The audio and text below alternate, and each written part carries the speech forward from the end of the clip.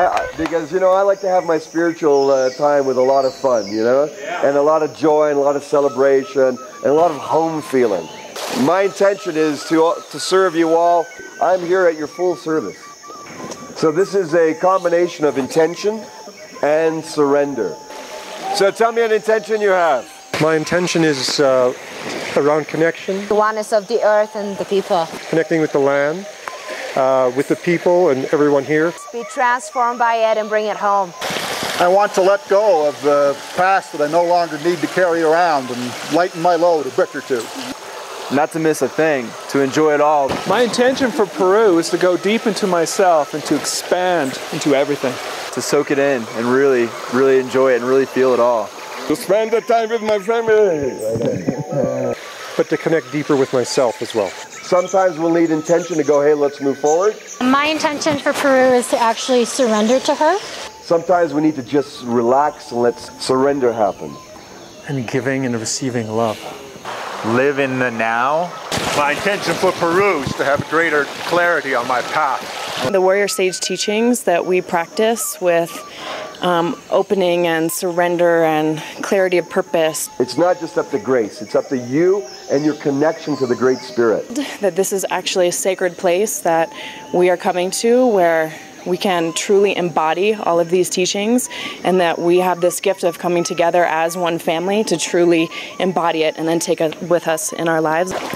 My intention for Peru is to be my best self for me and for everyone else here. Oh, so those are the two qualities we're going to cultivate. Intention, what's the first one? Intention. And the other one is because you need both. I also want to have a heck of a great time. What is it? I just want to breathe it in. I grew up very non-religious. I don't believe in, you know, the one and only God Almighty. And but there's always growing up. I've been spiritual, but there's always been something missing inside. And as soon as you mentioned the trip to Peru, I knew that that's where what's missing inside is at. So I need to I needed to come here to find what's been missing all my life.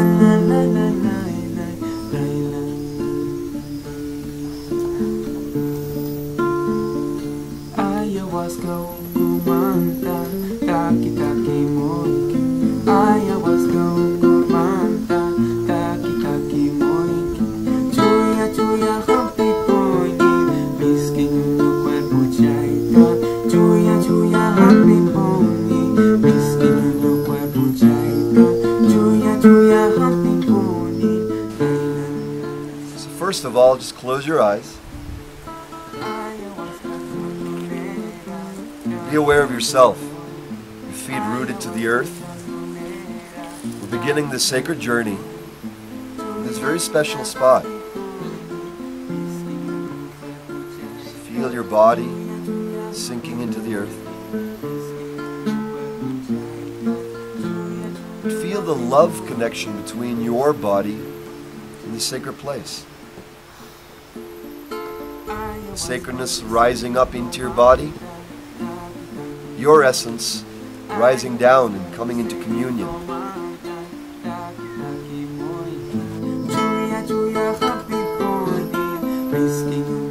And as you breathe in, it's yes.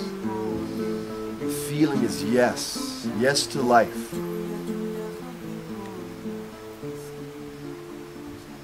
As you exhale, you let go of whatever is no longer serving you. Just, I let go. You may not even know what you're letting go. It's just the intention of letting go of what you no longer need.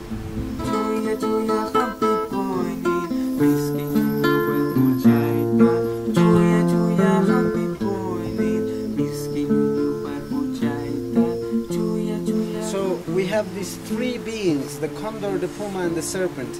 The serpent being the inner world, the mind, the consciousness, the condor being the, the world of the spirit, and the puma representing this physical body. Tell me what your intent is.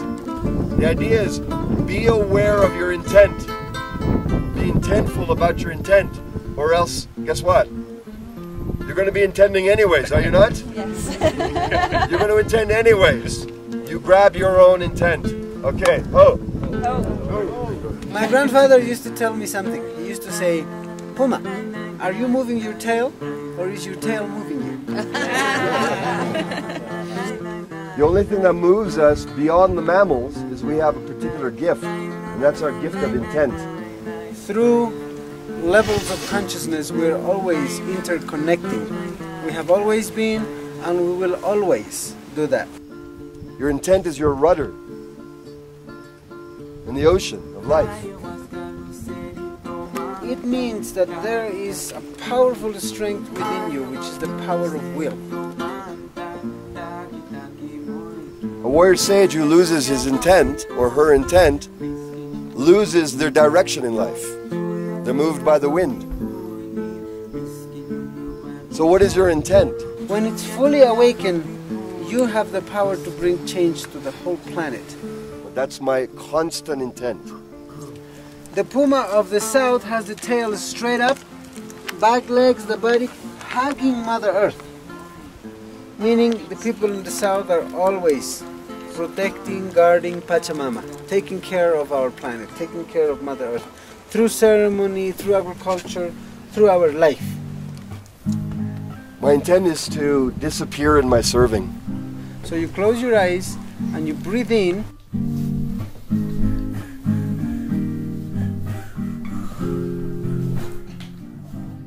There was a community once that used to have many, many problems. And um, there was uh, the mountains were to be the guardians of these communities. So we call them Apus, the mountain spirits.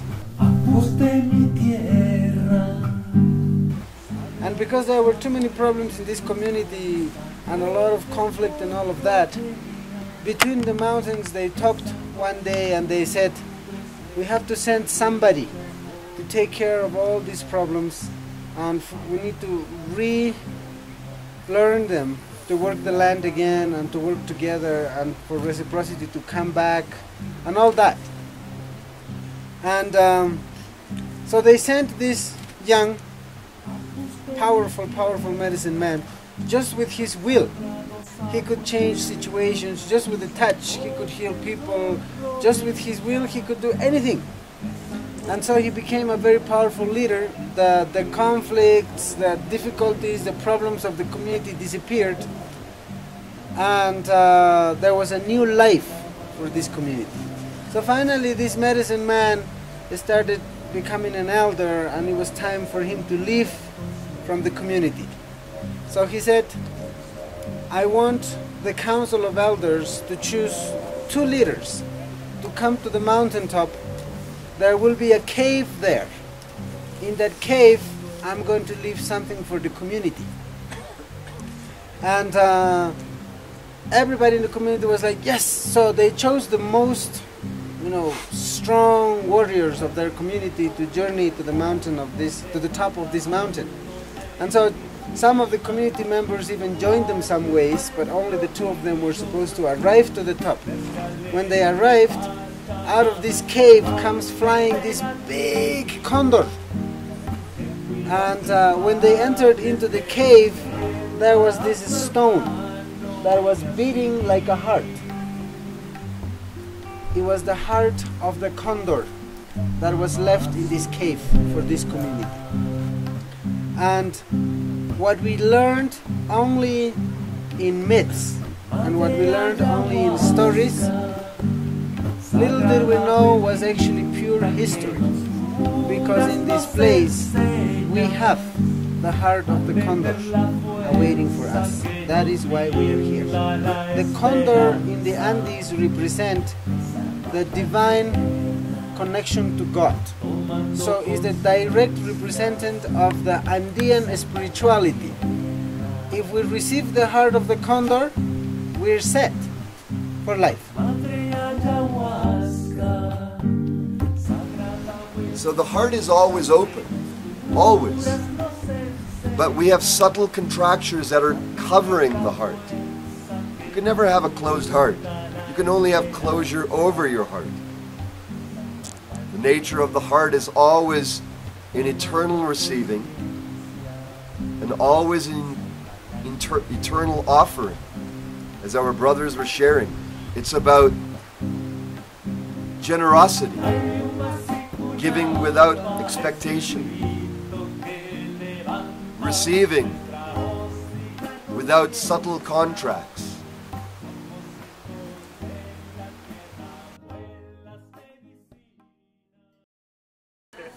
They're not our guides. They're our Cusco family. and I met them, and when I met them, it was immediate. You know, every time I had the blessing of somehow drawing to us and drawing to each other the people that match the frequency, the vibration, the heart, the joy, the, uh, the ecstasy of what we're all about. And so immediately we knew the meeting was done. All right? So the fact that we get to see each other in this lifetime like this and enjoy this space, they're going to be our sharers to share their profound wisdom. So let's give them a big warrior sage welcome. Go ahead. Firstly, welcome to Cusco. I mean, what an honor for us to receive our family from the north and fulfill or continue fulfilling the prophecy of the condor and the eagle flying together. So let's rock and roll. Yes.